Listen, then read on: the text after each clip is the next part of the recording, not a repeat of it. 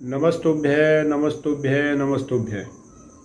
एक बार फिर मैं डॉक्टर शैलेश एक नए विषय के साथ। नया विषय कुछ इस तरह है कि जैसे अभी पीछे की कुछ वीडियो मैंने कुछ खान पान को लेकर डाली हैं। मतलब हम लोगों को जनरली अपने जीवन में मालूम नहीं होता कि हमको कौन सी चीज़ कितनी मात्रा में और कैसे खानी चाहिए। तो जैसे पीछे की कुछ वीडियो में जो घी का भी मैंने जो एक वीडियो बनाई है, ज़िक्र किया है कि एक मनुष्य को, यानी कि एक व्यक्ति को हर दिन में कितना घी और किसका घी माने, किसका घी माने कि गाय का, कि भैंस का, कि बकरी का, कि भेड़ का, किसका घी? और कितनी मात्रा में और कब खाना चाहिए, कैसे खाना चाहिए? तो आज का जो विषय है, वो मैं लेके आया हूँ कि अब घी की हमने बात की है, लेकिन घी जिस चीज़ से बनता है मतलब घी जिससे निकलता है, दूध के बारे में।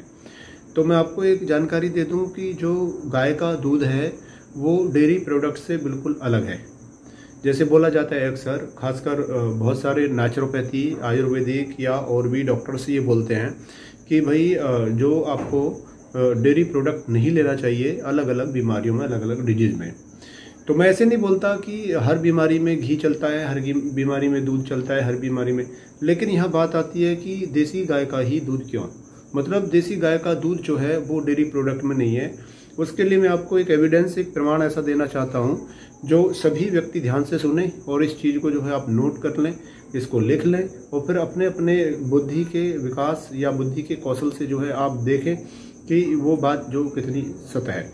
तो मैं कहना ये चाहता हूँ कि जो देसी गाय का जो दूध है, इसके अंदर एक एक ऐसा एजेंट होता है जिसको बायो इनहेंचिंग एजेंट बोलते हैं। क्या बोलते हैं? बायो इनहेंचिंग एजेंट ये बायो इनहेंचिंग एजेंट वो एजेंट है जो डेयरी प्रोडक्ट से अलग करता है गाय के दूध को या गाय के घी को या गाय के जो है अब छाछ को या गाय की जो है दही को।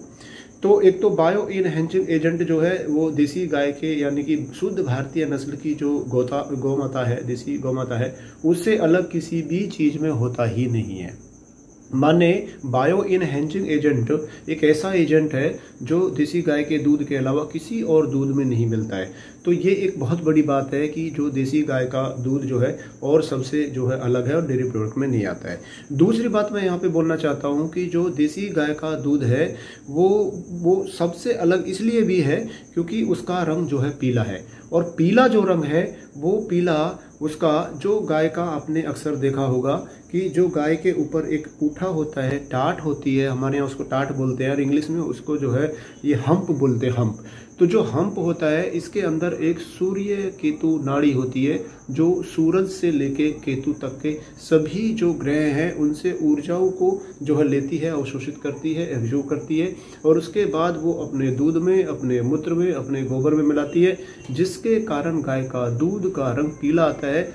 तो ये जो सूर्य केतु नाड़ी है, जो सूरज से केतु तक सभी ग्रहों की ऊर्जाओं को शोषित किया, उसके बाद एक रिएक्शन होता है।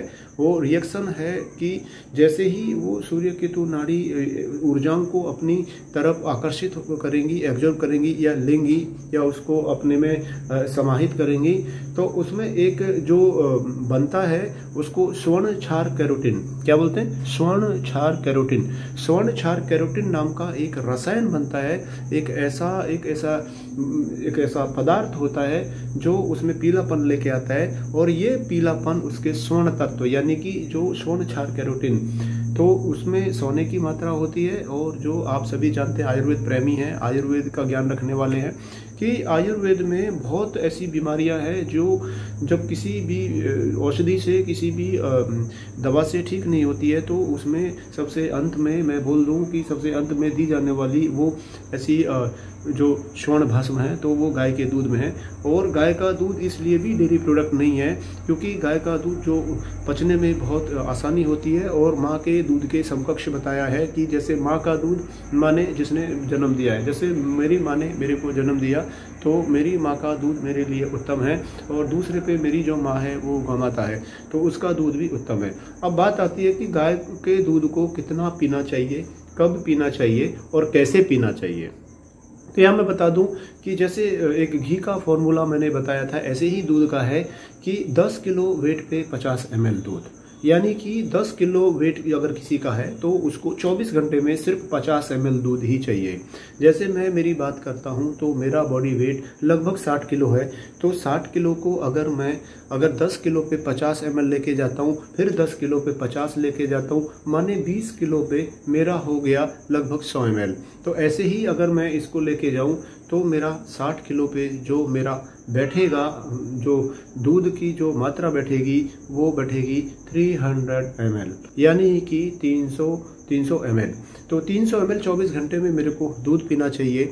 और एक दूसरी बात यह है कि दूध को जब पीना चाहिए, वो दूध को बैठ के पीना चाहिए और दूध को जो है आप घूट घूट करके पीना चाहिए। और 14 साल के बाद, अगर आपकी उम्र 14 साल से ऊपर है तो आपको सूरज की अनुपस्थिति में दूध को पी पीना चाहिए, सूरज की उपस्थिति में नहीं। आयुर्वेद यहाँ कहते हैं कि दूध को पचाने के जो रस है, आपकी जानकारी के लिए बता दूँ, हमारा जो स्टोमक है, हमारा जो आमाशय है, इसमें हर चीज़ को पचाने के लिए अलग अलग रस और एंजाइम्स बनते हैं। इन रस और एंजाइम्स की संख्या जो आयुर्वेद में बताई गई है, वो बताई गई है सत्रह सौ प्रकार के। कितने? 1700 टाइप्स के रस बनते हैं एंजाइम्स बनते हैं। जो हमारे भोजन को पचाते हैं। इसका मतलब ये हो गया कि हर व्यंजन का, हर खाने के पदार्थ, हर खाद्य पदार्थ का अलग अलग जो है बनता है। तो सूरज की उपस्थिति में वो चौदह साल के बाद हमारा नहीं बनता। यहाँ अब सवाल एक और भी आता है कि सूरज की उपस्थिति में अगर नहीं बनता तो चौदह साल से पहले क्यों? क्योंकि चौदह साल से हमारा जो शरीर है, वो ज़्यादातर जो गाय के दूध के ऊपर या उससे भी पहले जो हम शिशु होते हैं तो मतलब दो ढाई साल तक माँ के दूध के ऊपर जो है डिपेंड करते हैं। तो इसलिए देसी गाय का दूध जो है आपको अपने बॉडी वेट के, माने आपका वज़न अगर मैंने एक बार पहले भी बताया, फिर बता रहा हूँ, दस किलो है तो उस पर पचास एम फिर दस किलो तो पचास एम बीस किलो पे सौ एम तो जब 20 पे सौ तो 60 किलो पे, जैसा मैं हूँ तो मेरे को 300 सौ चाहिए। अगर ऐसा हम व्यक्ति, हम लोग ऐसा करते हैं, हर व्यक्ति ऐसा करते हैं तो उसके शरीर में कभी भी, कहीं भी मतलब कोई भी ऐसी बीमारी नहीं होगी, जो उसको एक गंभीर बीमारी की तरफ़ या गंभीर स्थिति की तरफ़ लेके जाएगी। तो देसी गाय का दूध ही क्यों? ये मैंने आपको बता दिया, कितनी मात्रा होनी चाहिए और इसको किस समय लेना चाहिए। तो आपको ये ध्यान रखना है कि आयुर्वेद में यही बताया गया है कि किसी भी चीज़ की मात्रा उसको समय अनुसार, ऋतु अनुसार ज़रूर लेनी चाहिए। तो ये ध्यान रखना कि बिना मौसम की कोई चीज़ नहीं होनी चाहिए आपके अपने जीवन में। देसी गाय का जो दूध है, वो आप ले सकते हो। तो देसी गाय का दूध सिर्फ़ और सिर्फ़ आप जब ये श्रावण मास आता है, वर्षा ऋतु में, तब एक महीने के लिए वर्जित होता है। तब एक महीने आप देसी गाय का दूध नहीं ले सकते हो, बाकी देसी गाय का दूध आप बारह महीने ले सकते हो। तो आज के लिए सिर्फ़ इतना ही।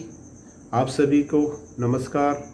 जय गौ माता, वंदे गौ मातरम, जय आयुर्वेद, जय राजीबाई